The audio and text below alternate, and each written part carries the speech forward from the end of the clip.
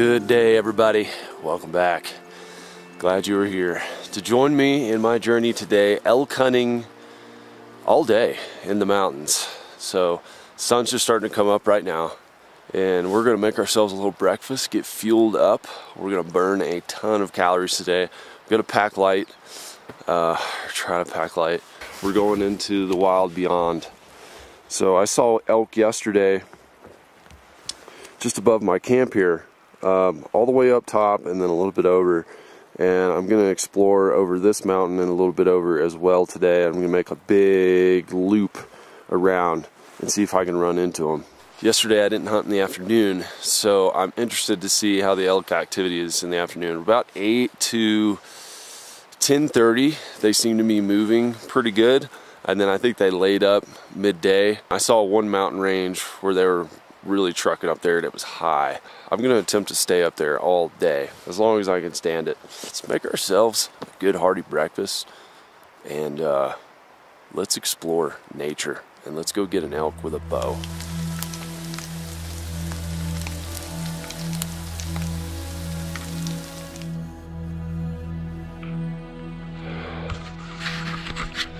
We started our ascent. See, oh, we are not even close. We are like an eighth of the way of where we're going to be into starting to see sign, and then we're going to explore even deeper in a couple of areas that I've looked at on the map. They look like open grazing areas. So I'm going to sit on those and really watch those. But look at that, y'all. Crisp air. A lot of this trekking up here is just like walking over big trees. I've got a really nice path right now to go up. It's not too bad, so. It's good morning, good exercise. Let's go find them though.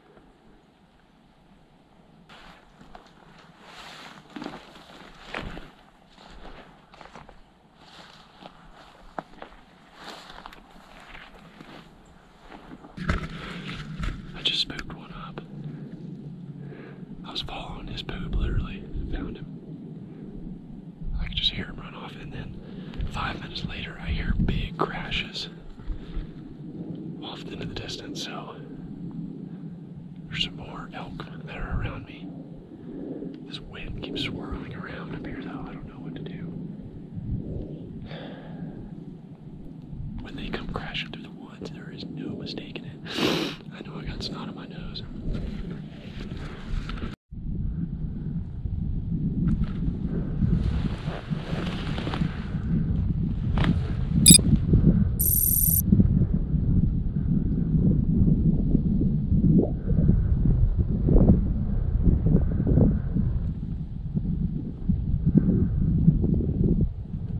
I see it. There's a shooter cow. They're about 70 yards right now. My wind is not good. I'm gonna have to sneak around, but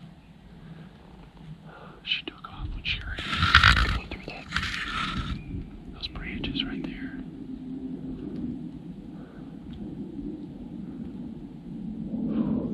Okay.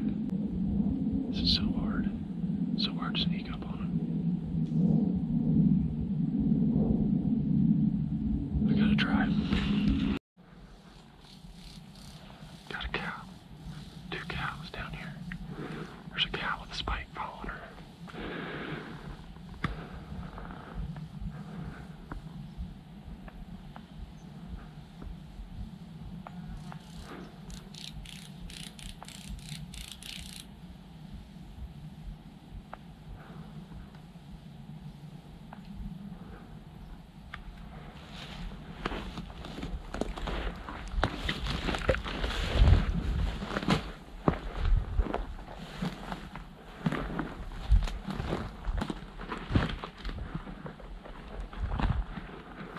Sure what happened with that, that last cow. She had at least one spike following her. And uh, I ran over and got a position. I felt so confident I broke out the big camera.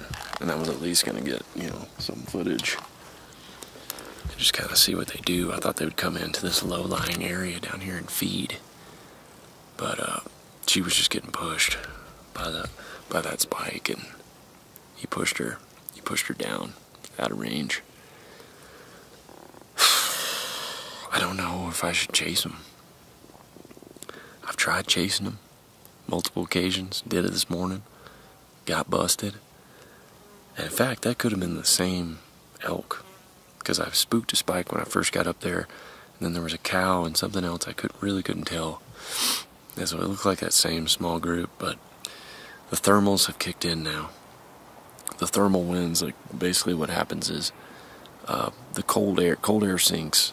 So in the mornings, the the winds push down, and uh, when the air heats up, um, it starts to starts to rise. So it's just pushing up the mountain right now. So it's coming into my face as I'm looking down.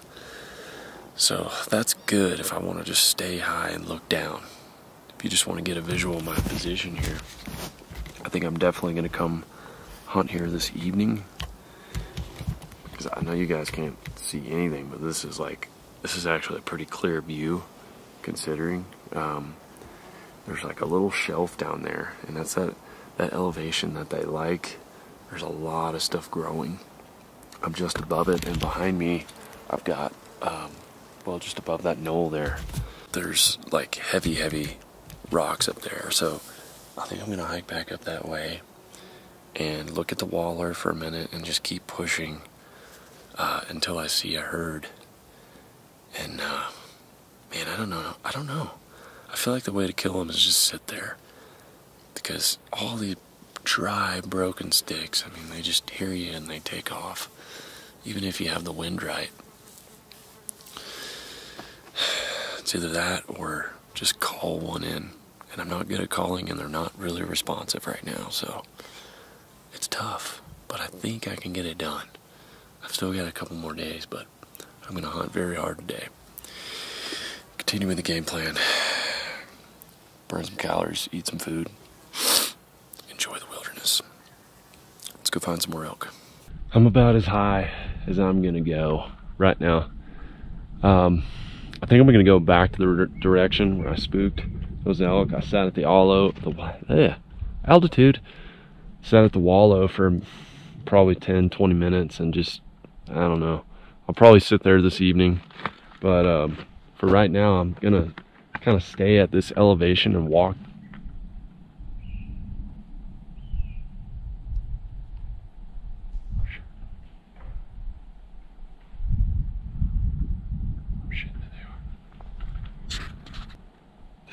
been the whole time. It's like they're right there. They were right there. I'm sitting here talking to the camera and they run off. I'm up high, which is good. I'm gonna work my way back around. They might get, end up going to the waller. I'm almost at 12,000 feet and I've just been looking around. It's so thick down there, I can't see anything. I think I'm up just too high. I'm way up here. It's lightheaded. This is high, y'all. Look at it. Just snow on the mountains over there. Look behind me. There's not much left to go.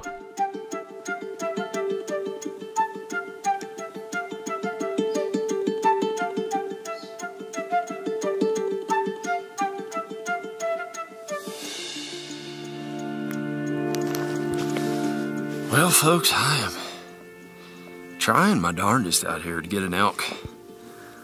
But I've gone back and forth on this ridge, looking down, found really fresh scat, really fresh prints. And uh, if I just go in there deep, they're gonna bust me. So I need to wait for them to start moving again. I, I'm really exhausted. I mean, this is this is part of elk hunting right here, but um, no stranger to it. Uh, after my New Zealand hunt, I feel like I can handle any any kind of hunt in North America, really. But we've got to get ourselves some food. I'm drained. I have a headache, which means I'm probably dehydrated as well. Um, I already drank a bottle of water. This is a, a liter that I have left that I've also been drinking. This is from the creek water that I filtered. And I'm gonna use some of that to cook up the old mountain house. And today we got, oh, we got a little beef stroganoff. Oh yeah. A little hot meal up here every day about this time. The weather has changed as well. Like it gets cloudy and there's some a little bit of rain that comes in. So these old mountain houses, it's pretty convenient little deal. And they're not bad. They're not the worst thing I've ever had. Make sure you take your little uh, little drying agent out. And what we need to do is heat up some water and put it in there. So this is uh, a little portable propane tank. And then I've got this little kit right here, which allows me to uh, set up a burner off of the uh, off the thing. They make ones that go right on top of here, but I chose to get this one because I can, I don't know, I can move it around a little bit more. Let's see here. Hope this baby fires up. I haven't used it since New Zealand. Ooh. Wow, that's on. Had a little splurge there. Man, it's really cold when it comes out. Oh, jeez. Sorry about that. I got this tiny little tripod. Trying to make it work. Okay. Let's see if she starts. Oh yeah, there she goes. Oh yeah, we're gonna be okay. So this is my little cooking kit that I carry, and it's got all those little essential things in there. But I keep my tin at the top of my bag. Pour our water in our titanium cup. Gotta make sure the ground is flat. I don't burn my fingers. Alright. Get that boiling. Oh, man. Even stopping and cooking is a lot of work up here.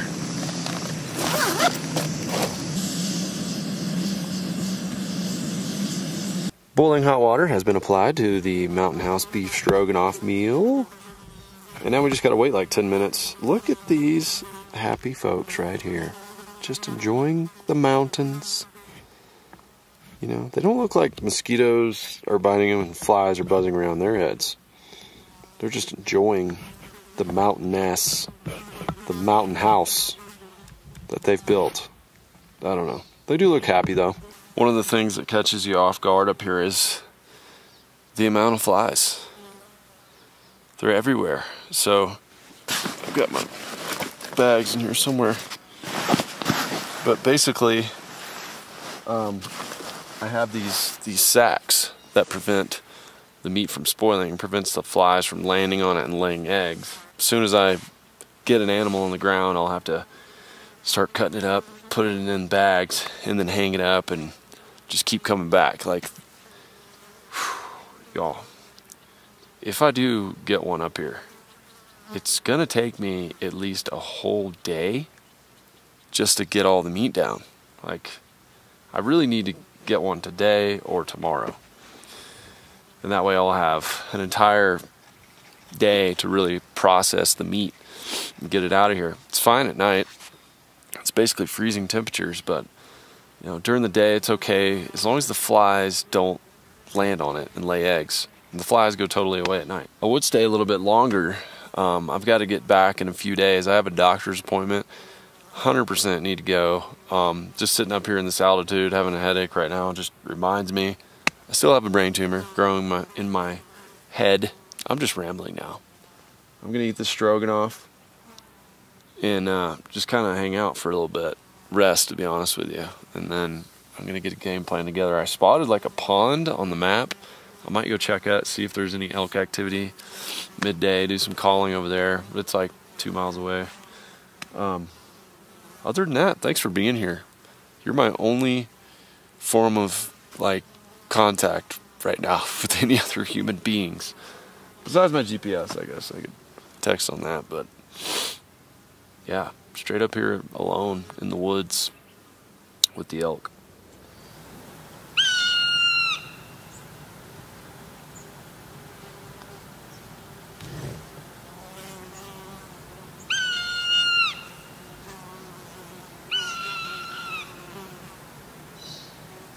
I mean, who doesn't just love to see a big bird of prey screaming over the mountains while they eat their mountain house? I enjoy that. If I could only tap the Rockies with some silver bullets right now, or at least to end the day, I'd say my Rocky Mountain experience would be uh, fulfilled, complete. Besides the elk. Let's be serious. Why we're up here killing ourselves. Alright, flies, get away from my strogies. That's a game changer. Oh man. It's just nice to have just a warm meal while you're trekking up here burning tons of calories and then you just get a nice warm meal, picks you up, makes you feel like you're back at regular altitudes.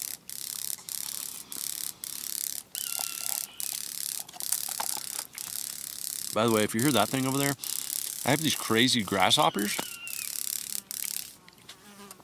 that sound like firecrackers. Okay, I'm gonna eat these noodles and dehydrated beef. And we're gonna keep trekking. Where to, I don't know. In search of elk. Day two. Keep going.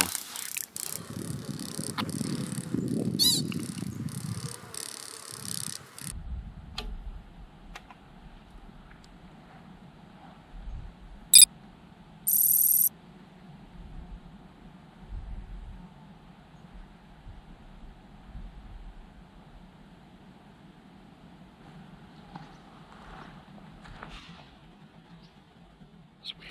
I don't know why. That fawn would be by itself.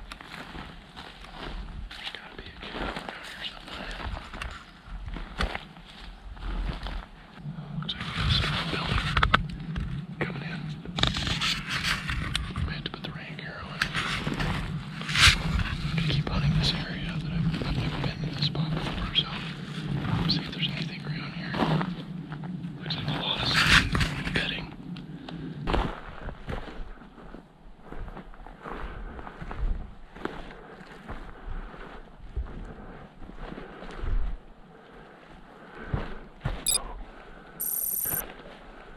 She's on me. False alarm. It's a mule deer. There is a magnum mule deer up there. He's probably another 500 feet above me. He has got some incredible branching. He's still in velvet. Absolutely gorgeous. I just saw those. There was a doe that busted me. And uh, that fawn that I saw was a mule deer fawn. This big buck is. He's a gigantor. He's just up there feeding away, way high up there. So, can't shoot him, unfortunately. Well, he's way too far, anyways, but I'd love to make a stalk on him. He's an absolute brute. But I don't have a tag for him. My head's killing me. I think it's the altitude. It's 258. I'm gonna go get in position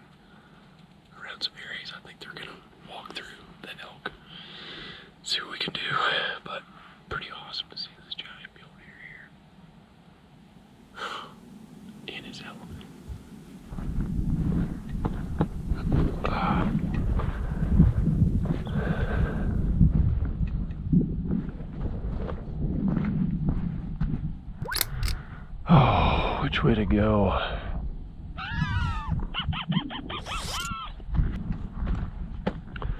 Look at all this bright green moss. It's like it's glowing. This is the highest I've ever been. Absolutely. It's playing with my head. I really want to get down from this height. It is sketchy. Well, it ain't Everest, but it's definitely the Rockies. Oh, God. Please don't be any crevasses.